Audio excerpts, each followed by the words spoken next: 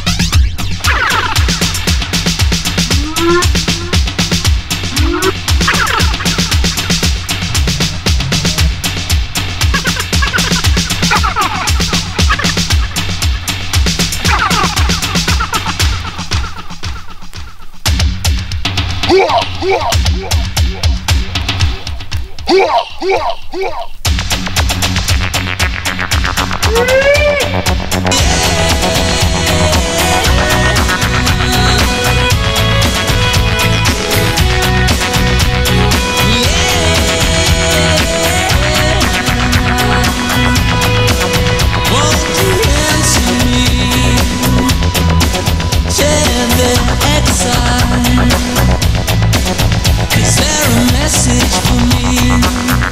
Now I feel so.